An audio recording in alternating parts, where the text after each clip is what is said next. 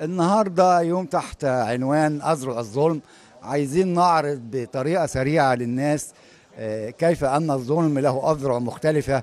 قد تكون النيابة وقد يكون الشرطة وقد يكون الإعلام وقد يكون القضاء.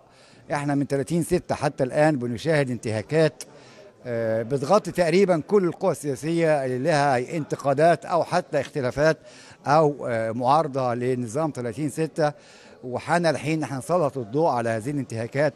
سواء في أسامي البوليس أو في النيابات أو في القضاء وده هدف مؤتمر النهارده تسليط الضوء على الانتهاكات ومراعين في النماذج اللي بنقدمها إنها تغطي طيف واسع جدا من ال- الناس ذات خلفيات سياسية مختلفة مش بس مركزين على مجموعة الشباب الاخرين أحمد ماهر أو علاء لكن على كل حوادث الانتهاكات على كل الشباب المصري بغض النظر عن انتمائه السياسي. أنا في وجهة نظري أبرز انتهاك هو أن القضاء والنيابة تقبل أن يتم التحقيقات وتجديد الحبس واستئناف الحبس والمحاكمات في أماكن آه، خاضعة للسيطرة الكاملة للشرطة مما يخل بحق الدفاع للمتهمين ويخل بسرية التحقيقات من ناحية ويخل بعلنية المحاكمات من الناحية الأخرى. وأنا رأيي ده أسوأ انتهاك حاصل في مصر في المدة الأخيرة دي.